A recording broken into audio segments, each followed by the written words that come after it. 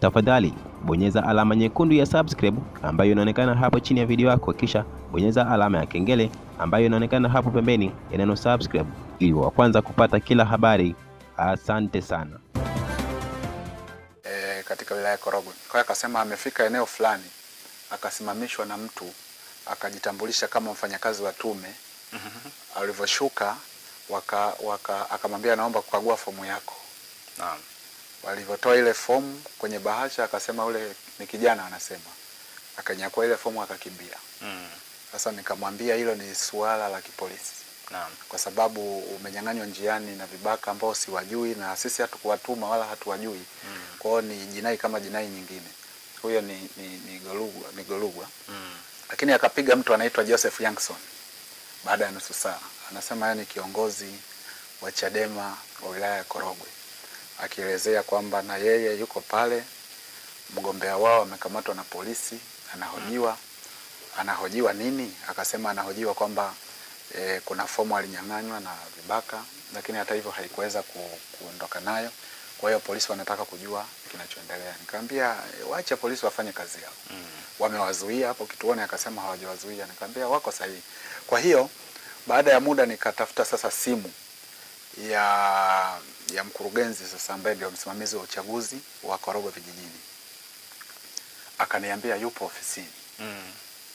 Nikamwambia kama upo ofisini, basi kuna wageni watakuja, kwa maana ya watu wanataka kurejesha fomu. Akasema waje tu. Kwa hiyo mimi nikamwambia basi endeleeni. Kwa hiyo nikakaa, ilivyofika saa nane na nusu akapiga tena huyo mtu anaitwa Gorugwa akasema kwamba e, wako pale lakini bado hawajapokelewa bado. Nikapiga tena simu kwa mkurugenzi, akasema mbona mimi nipo ofisini Mm. lakini nilicho nilichogundua sasa yale malalamiko ya Mashinji anasema kwamba e, pamoja na huyo Golugwa na huyo Youngson wanasema kwamba huyu mdada ambaye ni msimamizi wa uchaguzi ameondoka muda mrefu hajarudi, lakini ninavyofahamu mimi mkurugenzi wa wa halmashauri ya wilaya ya Korogwe Mm. ambaye ndio msimamizi wa uchaguzi ni mwanaume, ni mwanaume anaitwa Daftari. Sasa hapo kidogo nikaanza kupata shaka kwamba inawezekana wanaongea na mtu ambaye siye mwenyewe Mtu ambaye siye mwenyewe. lakini mm. baadaye nikagundua kwamba pia wameenda ofisi ambao sio wenyewe, ingawa ni katika eneo moja compound mm. moja, kwa wameenda katika mtu ambaye siye siye mwenyewe. Kwa hiyo wakawa wanaendelea kusubiri. Sasa kwa bahati mbaya sana eh, Golugwa akipiga simu, sababu niliacha kuongea sasa baadaye na Machinji kwa sababu yuko Dar es Salaam kama mimi. Mm. Kwa hiyo nikajua hata unisaidia sana kutatua tatizo kama ni, kama ni la kweli. Kwa hiyo nikawa nawasiliana moja kwa moja na yule Gorugu ambaye anadai kwamba yeye yuko pale pale Korogwe pamoja na mgombea. Nikamwambia sasa, nenda ofisi ya mkurugenzi tuone kama atakataa kupokea fomu yako. Ilikuwa sasa, ni muda gani? Ilikuwa muda gani? Ilikuwa sasa ishafika saa nane mm. inakwenda saa tisa na mwisho ni saa kumi. Kwa hiyo mm. ilikuwa bado muda upo. Kwa hiyo bado yeye anabisha kwamba ofisi anayojua ni ile na sio hiyo mimi namwelekeza.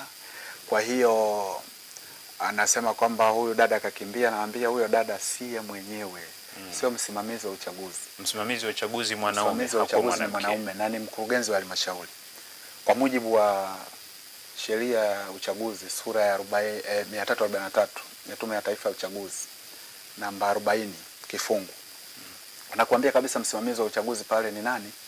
Ni, ni ndio anayeruhusiwa kufanya mienendo yote, ndio mwenye mamlaka ya mwisho ya kuamua nini kifanyike. Kwa hiyo sio mtu mwingine Yoyote. yoyote.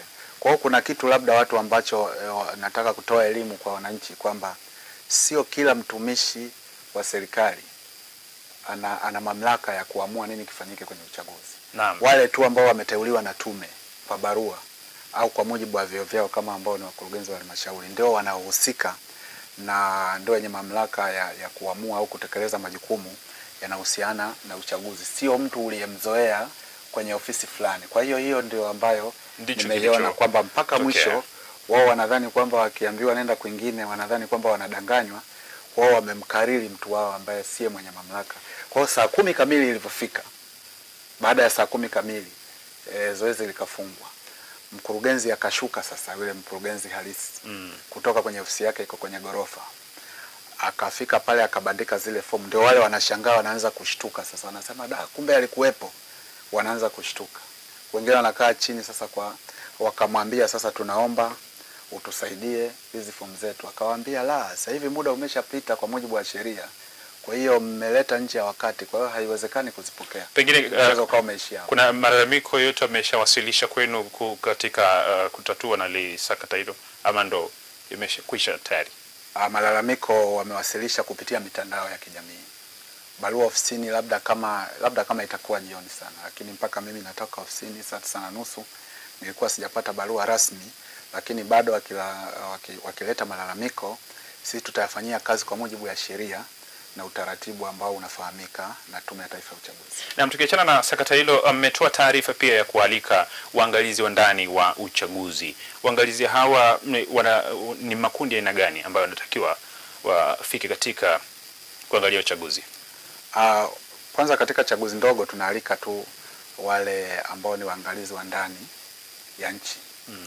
Kwa hiyo waangalizi wa nje mataifa mbalimbali hatuwaaliki, isipokuwa kama balozi za nje ya nchi, lakini zilizoko ndani ya Tanzania zinataka ku- kuwa miongoni mwa waangalizi, zinapitia wizara yetu ya mambo ya ndani, mambo ya nje ya nchi Mm. ambao e, wizara ikiridhika sasa itaiarifu tume ili tuwapokee. Kwa hiyo makundi yale ni makundi yale ambayo e, ya, ya, wa, ni taasisi zenye leseni au zilizoruhusiwa kuwa waangalizi wa uchaguzi. Naam, wenye leseni na Ambao wamesajiliwa. Tukiachana, tumalizie kabisa, uh, mkurugenzi, taratibu zinasemaje? Umuhimu wa waandishi wa habari haukwepeki katika masuala ya uchaguzi. Taratibu zinasemaje kwa waandishi wanaokwenda kuripoti uchaguzi wa kama uchaguzi mdogo? Ah, waandishi wa habari wanaruhusiwa. Wanachotakiwa kufanya ni kwenda kwa msimamizi wa uchaguzi Mm. wakifika wanapata barua za utambulisho pamoja na vitambulisho mm. ili waweze kuruhusiwa katika maeneo mbalimbali yakiwemo hata katika vituo vya kupigia kura ili waweze kuripoti matukio mbalimbali bila kuathiri shughuli za kwenye uchaguzi au kujivika majukumu ya wasimamizi wa uchaguzi. Naam, ni mkurugenzi wa uchaguzi wa Tume ya Taifa ya Uchaguzi NEC Dr. Athman Kiamia kama tulivyopiga uh, naye